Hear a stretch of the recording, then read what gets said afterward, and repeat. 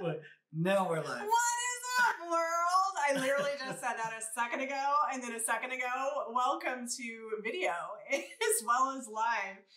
Um, it's been a minute. It's been more than a minute. It, here's how long it's been. It's been so long that I have a different configuration set up. you have a different background. I have a different background. I have a different chair. And, like uh, that's how long it's been since our yeah, last video. and I'm not sure if I have everything set up right or not. So, uh, two seconds to do some homework here. Is it working on yours? I don't know, but I'm going to talk to you guys while he looks at the technology, and then I'll look at the technology. Hopefully, you guys have had a fantastic summer so far. Um, Conor and I were having our back porch conversations with the birds a chirping and coffee in hand, and we are like, you know what? We think that we're going to start the Facebook Lives back again for the fall. Um, a couple things. One, to serve you guys, right? So, uh, a lot has changed in the SEO world. And then again, a lot has never changed in the SEO world. The structure and the foundation is exactly the same. Um, however, it, it's kind of cool watching some of the new updates happen. Hey, Bruce. Hey, Bruce. Um, you can hear us okay, it's, right? It's kind of cool watching some of the updates happen and and happening um, where the search engines are actually helping those business owners get connected more to those that are looking for their services or products, right? And that's what today's episode is about. Got uh, Google or Conor wanted to dive into um, the Google update uh, for helpful content. Um, and then so we're going to attempt to try to keep this under 14 minutes because time is valuable, right? But we could talk for ages, like ages, ages. Well, like he had me talking pre-video, and I had a whole conversation with myself, so I have no problem talking. yeah, uh, you can keep going, and, and I'll just sit here and just nod. Look handsome and look pretty, I'll like just keep checking oh. Facebook. Okay, cool. Anyway. Conor, let's go ahead and have you dive in. All right, so um, and I don't believe that I've posted it onto the chat yet. Uh, so we'll go ahead and just post that in here and then Y'all, this is that. the part that drives me crazy about the live. It's all his technical. I have the step, and then the step, and then the step. Honey, talk, talk to the camera. Talk to the camera. Got it. Um, okay, hi camera. Uh, all right, so the big thing is that at the end of or the middle of August, Google announced that there was going to be an update called the Helpful Content Update.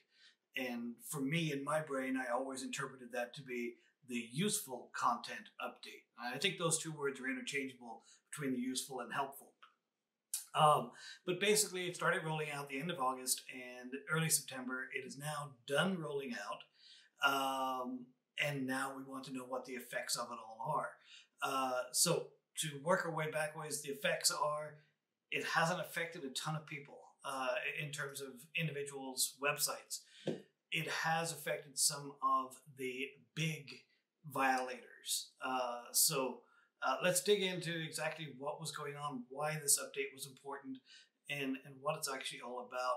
And, and really, the, the title itself, you know, the helpful content update, that's really what it is. If your content on your website is not helpful to a user, then Google no longer wants to show it. Uh, that's the long and the short of it. Um, you know, one of the examples that they gave, and we run into it on a regular basis. We'll be watching a TV show like Blue Bloods, for example. Yeah, one of my favorite shows. We like Blue Bloods. So we'll be watching season 12. We know that's the current season. And then it's okay, so when does season 13 Oh. I, I don't ever look that. Not to interrupt, I don't ever look that stuff up until I'm at the last episode. Right. Because I don't know if it's gonna come back or not come back. Anyway, sidetrack. So at the end of it, we're looking up when does it come out, and we'll find all these articles that you'll click on. Uh, when is season two being or season thirteen being produced? Mhm. Or when is it being released? And all that stuff. Well, at the end of the article, or buried somewhere in the article, it says that no release date has been finalized, or it hasn't even started production. So one of the things from Google was that if the question is unanswerable, it really shouldn't be in the index. You know, it's not there. Or you should, at the very beginning of the article, say no release date has been done, and then give the history of the, the show and who's involved and what characters and so forth. But get to the point. And I have a hard time just even in conversation, you know, both on video and phone calls. Bruce can attest to this. I, I, I'll have a hard time getting to where my point is. Takes a little longer than normal. Um, but that's kind of the deal with the articles is that we need to get the answers fairly soon. If you're looking for when is the next full moon, and you type that into Google, Google might even provide the answer. The next full moon is on this date. Or when you click on the link uh, that's provided, the first thing the answer is here's the next full moon. Oh, and here's the next ones after that in case you miss it.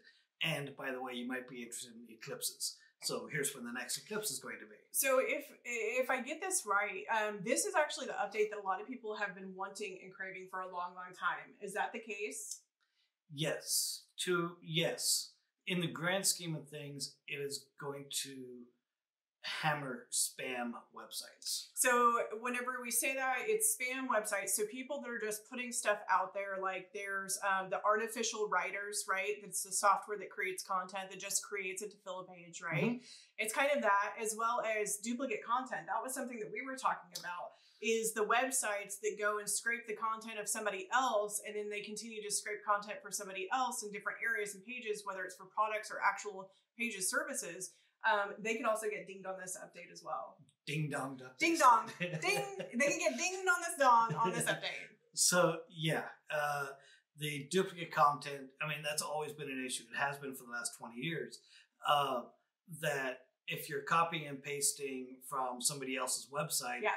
Um, why does Google need to show your website at all? Yeah. Um, and this is true with, with the big articles. It's true with um, newspapers. You know, it, that's like a, a, regurgitation process that's insane. Mm-hmm. AP will put out uh, um, an, an update about something. Every news company that's out there then just republishes the same thing. Now, is it helpful to their users? Yes, because people who are reading the Desert Sun may not be reading the Washington Post or may not be reading Chicago Times. They're reading a Southern California uh, newspaper. Mm-hmm. So, is it helpful to those readers? Yes. Does that mean that article should be indexed by Google and put out on the web and have, you know, basically 14,000 articles all saying the same thing? No, it doesn't. So, a user would go to the Desert Sun's website, they would read the article there, no problem. But Google doesn't need to index that. Um, so, I, I, think from a, a, a big, a big picture end of things, um, a lot of the spam, a lot of the duplication, a lot of the fluff pieces, uh, those are kind of going to get de-indexed. Now, how Google is determining that, some of it is AI, uh, you know, machine learning. They're going yeah, I don't think they have enough people to no. in that whole situation. It's, the whole thing about the, the content update is all, they say, is all machine learning, and yeah. that's great. Um, but how they're determining that it was an interesting discussion that uh, Clint Boyer and uh, Ted, I can't remember Ted's last name, uh, but they had an interesting discussion about it. Um, you know, do you just go through and say, oh, well, this article hasn't really see- received much traffic, therefore it must be spam? I mean, that's a bad way of doing it because you'll get scientific papers out there that really don't get a lot of traffic. Yeah. But if your website has 40,000 pages and you get 20 visitors in a month, that's probably a spam website. Mm-hmm. It's turn and burn, spun content, AI content, all that kind of fun stuff. So all those things are all playing into uh, into that removal. Now, as I said in the beginning, there's not really a lot of many people reporting that they got hit.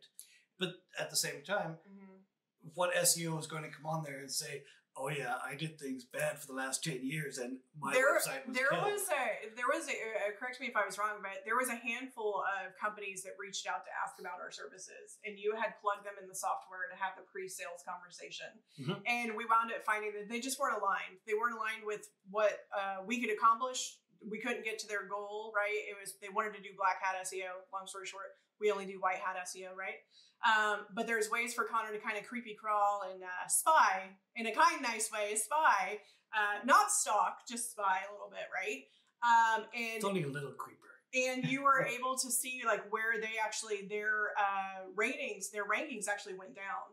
Um, and it was based on the fact that there was duplicate content, right? There was uh, spun content, and and by spun content, guys, like you can find an article and in your own language, in your own way, find a way to rewrite it, or a product and a product description, find a way to rewrite it to yourself, right? Mhm. Um, you can tell if it's a human or not a human. You could also tell if their first language is English or not, or Spanish or not, right? Like there's there's certain dialects that come through in writing, um, as well as personality that comes through in writing. Uh, so you just want to make sure that you're not just kind of using like we use some softwares to help us start content, Mhm. right? Or to add a little bit of content, or oh, maybe we forgot about this, right? Um, but by no means do we rely heavily on that software for an entire article or an entire product description, right? Yeah. Yeah, Looks I like we have some. Yeah, Bruce asked, Yeah. you know, how does this affect the products and descriptions? I mean, and you kind of touched on that. Yeah. Um, it it is going to play a factor. Uh, you know, so if you figure, you know, Nike releases a pair of shoes, and this is the description inside of their uh, their database, Mhm. and all the different places, Amazon and so forth, they all import that same product and that same description. Why would Google show, you know, Joe's website? Because all these other places all have the same, um, the same breakdown or the Right. same information. So taking that description, rewriting it in your own words, that's a big part. It, it, you know, there was a, a another SEO I was listening to, and he said, you know, if it takes too much time, then it's probably worth doing. You know, if it takes a long time to do something, it's probably worth doing. There's also another uh, quote that I came across this week that I actually kind of liked, and I'm going to take it to a totally different part. It said, right to the point that it scares you. And I think that sometimes when people are like, oh, I have to create 1,600 words of valuable content, it kind of scares them because they're like, what am I going to write about? How am I going to write about it? Right. Um, but if you you take your step back in your business, you're already having sales conversations. You're already answering questions, customized questions, questions that are asked all the time, right? Um, there's processes, there's ways that you do things differently. There's behind the scenes. There's um, you learning your own education, right? Like people are always curious when it comes, especially small businesses or mom and pop shops or husband and wife teams. They're always curious about what happens, what's going on in the background, how does it all work. Um, it could be because they're looking for inspiration to maybe accomplish something similar to what you have, but maybe they're also in a totally different industry, right? Um, so there, there's good launching places to start off of. But I love the quote of write, write what's write, write what scares you, right? Right to the point where you're scared. Yeah. Um, And I- and not necessarily scared like I have a fear of the monsters in the closet, right? uh, more scared of uh, it's outside your boundary. Yeah, but in, inside the thing, it, it talks about, or inside the guidelines from Google, and I have a link to that from inside the article. There's a link inside of there. Yeah, you actually Um, wrote an article before we did the live to Yep. try and help people in case they wanted to do a side by side guide. Yep. Mhm. So inside of there, it talks about the the length of an article. You know Okay. how how long an article should be, and from Google's end, there is no minimum word count. Now we have our own internal one. Yep. We've used it for years. 450 words you always have on Minimum. the page Mhm. because it, it takes two minutes to explain something. Yep. You know, so two minutes is about 450 And words. also, Three minutes like, maybe. The first paragraph or a couple sentences is going to be an intro. Then Mhm. you're going to want to do a closing. Like a lot of people don't do a closing and ask for the sale or what's the next step. They just and what happens is the users freeze. They don't know. I know, guys. It sounds so simple. People should know at the end of an article, go and shop and buy. Mhm. But you've pretty much put them into a different world, realm, universe of whatever you've been talking about, right? You're. It's almost kind of like you're like, hey, smell the cookies. I'm making chocolate chip cookies. Smell them. Come into the house. Have a seat, and then you just never hand them the Yep. cookie, right? and basically along with all of that you know if you go to the store looking for clothes or whatnot and the person who's helping you comes up and says can i help you find anything oh i'm looking for these jeans great they're over there Yep. awesome now go away and Yeah. let me shop Hey, you, Doris, you thanks for don't need them right beside you Yeah. uh, it, talking to you for the next five minutes you've already got your answer now move along and go to the place Absolutely. and that's the thing with the website. Right. So uh, the helpfulness is the key part. Is it? Are you answering the person's question fully?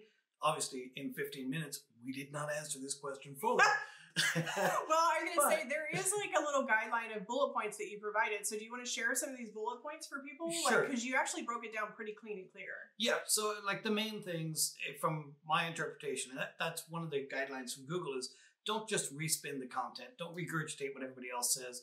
It- you know, have your own influence in it, have your own Yeah. experience out of it. So the big things that I took away from their their paper on stuff, um, write to your audience. So you're writing for people, not search engines. That's a big Um, yeah, that that's a huge one. I mean, the others is don't mix your your content. If your website is all about garage doors, then don't suddenly start writing about camera equipment. You know, and, and we fall prey to that in our own website. we can get squirrely on content. It's we have web to keep it very, SEO. very, yeah. We have to keep it very, very in. We have to stay in our lane Stay when we're lane. writing content. Yep. And then we were talking about it yesterday. What happens is we write an article or we come up with a video idea, and then it splits off to twenty other ideas, and we have to like come all the way back down. anyway, There's an article years ago, Flappy Bird. Flappy Yeah. Bird was a video game. And uh, we were writing all about this Flappy Bird thing. It has nothing to do with what we were doing. it was one of the most popular articles until Flappy was. Bird went away. Yeah. So the other stuff on here, uh, don't just summarize. Again, use your own. Um, It, it, Your own with spin. useful, helpful content, if you can create a list, a uh, a checklist, a troubleshooting list, pros and cons. pros and cons, how to keep something clean, steps one through 10, um, that type of thing, that will automatically fall into the bucket of helpful, useful content, Mhm. right? So, like, that is an option. and if you have real world experience with that particular object or with that particular service, then showcase it. Yep. You know, uh, you can go onto websites about vitamins and, and health diets and stuff like that, and the people who are writing it's just affiliates. Yep. And they don't really do the work. One So- other area that was a guideline that you put in here was to make sure that you answered the question. So uh, you can actually get in a little bit of trouble, um, and your bounce rate will go through the roof if you have an intro of you're talking about a subject. And then you wind up talking about something completely different, or you actually don't give the answer completely, or a Mhm. summary of the answer, right? Um, and that can actually cause the pogo stick and or uh, Google might actually find out and be like, look, you're uh, clickbaiting or whatever the thing is, Yep. where you're getting somebody in for one thing. Uh, what's the thing? It's not clickbait. It is it's called- clickbait. okay, cool. Yep. Very good. I'm a lot smarter than I thought, y'all. Isn't that fun? the beginning of my list said, you know, write for your specific audience, people, not search engines. And the last thing on my list is write articles for your intended audience or existing audience. And again, that's just driving the point home from my end that it has to be for the people by the people. Yeah, so I was going to say the first one where you said write for the uh, people, I get that. That just means human, write for humans. Don't write for software. Don't Mhm. write for the search engine, right? I totally get that. The last one about intended audience, I think this is really important for people to figure out who is your ideal target market. Write content for them. Don't write content for Joe Bob or whatever. If you if you have an idea of content and you're like, oh, I should probably write about that, but maybe one person is asked about it and they're not really your target market, you might not want to do it. Mhm. Um, so that's kind of what I took away from that last bullet point. Yep. And it, that's kind of the, the nuts and bolts of everything. Be Yep. helpful in your content. As long as you're you're providing useful content or helpful content, Google's going to love you. Rewrite your descriptions, rewrite content, and it might be a good time to do an audit, a content audit on your website. Find out if the articles that you wrote years ago, and we're guilty. We're y'all, we're going through an overhaul on our own stuff. We're looking at all of our old content because we have tons of articles, right? And they rank great. Some of them get traffic, some of them don't. Some of them don't even make sense anymore. Like I had to go and I we were trying to help provide useful content by giving people information about social media, and then we kept getting contacted for social media services. And we're like, yeah, we don't do that. Like ask me about TikTok, and I'm like, I have no idea, right? and it's uh, almost in in that situation, yeah. it's better for us just to delete the yeah. article So we just and deleted not it. talk about and social got out. And we So- redirected it to our blog. So that's the other thing is if you have content that you found is not that useful, that's maybe duplicate from somewhere else, maybe you copied and pasted it from somewhere, um, go ahead and deactivate that or unpublish publish that article, and then make sure you do appropriate redirect. So that way it drops back into your blog page. So that's a step that needs to be taken care of. Yep. I think, I mean, from my end, I think that kind of summarizes everything. Do you have anything further you want to put on here? No, I just had a cool coffee mug and I wanted to show y'all. I don't know if it's gonna show up backwards. It says I came, I oh, wait, wait, it says I came, I saw, I made it awkward. It's very hard to see in the fancy camera. If it helps, it's Yes. not backwards. Yes. Oh, it's not, It's not it backwards. wasn't? Oh No. see see Facebook and their events, like I can't see the live video. Like it's driving me crazy. I can't invite people. Like it's really like it's an interesting experience. So I don't know if we'll do an actual event next time or just go live. I don't know. All right. Thanks, guys. We'll see you next time. All right, Chat guys. soon. Thanks Bye-bye. for joining us. Have a great day now. Thank you.